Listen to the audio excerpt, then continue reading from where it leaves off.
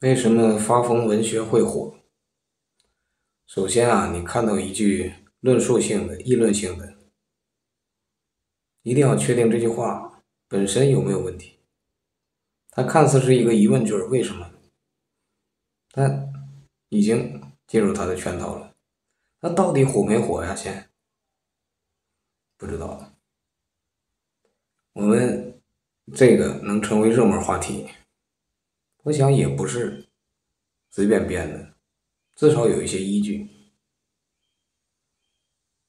那么看来有可能会火，到底火没火？现在自媒体、互联网越来越普及，年轻人人手一部手机都会用，电视看的都少了。收音机更不要说，啊，电脑也不一定用，就拿手机，很多就够了。除非你打游戏之类，那各玩各的。最早先有看的文字小说，后来这个视频不断的短视频发展，其实最火的应该是短视频。但是老是看费眼睛，有的时候做什么不一定能顾得上用眼，有的改做听，那走路、开车都能听，所以呢，就各种的自媒体形式。那么这些东西包含了什么内容呢？它的本质是什么呢？大多数是所谓的文艺的东西，人文的东西。我们自古啊都是重文轻武，其实也是重文轻理，理科数理化这些东西啊，老百姓很少用得到。过去讲士农工商，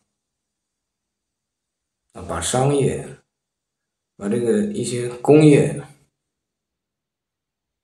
都视为奇技淫巧，能不用则不用。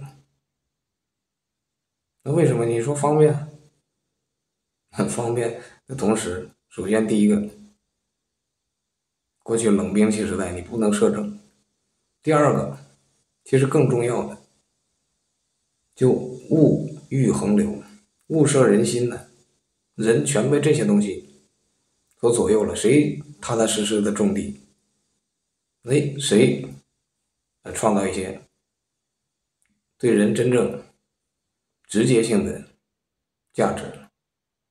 而都是弄那些什么所谓的服务业，啊，让人成为废人啊，一些过度的技巧。这个工业也在内，就各种重工业、轻工业，我们平时用的发明创造，现在到处都是。那很多都是人反被其所累。你说有的很方便呢，是那人懒了，身体首先老是懒，身体也差。但是有些确实方便你用，但真理止于至善，发明也止于至善。现在就过度发发明，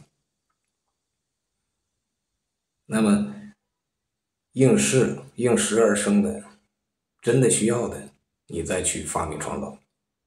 那老是偷奸取巧、投机耍滑嘛，所以，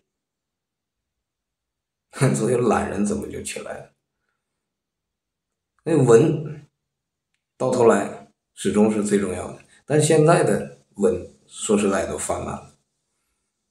你看古代的文言文字就很少，后来越来越多，到了唐诗宋词元曲。明清小说越来越长，那后来又发展成，其实早先就有啊，但是不断的去发展这部分啊，戏剧啊、戏曲啊、评书、相声、演绎，这这都是后来人弄出来的，然后各种电视、电影、电过度的繁华，人都被这些所吸引了。那人脑子就发疯了，所以说你说他是疯的，你说他文学没？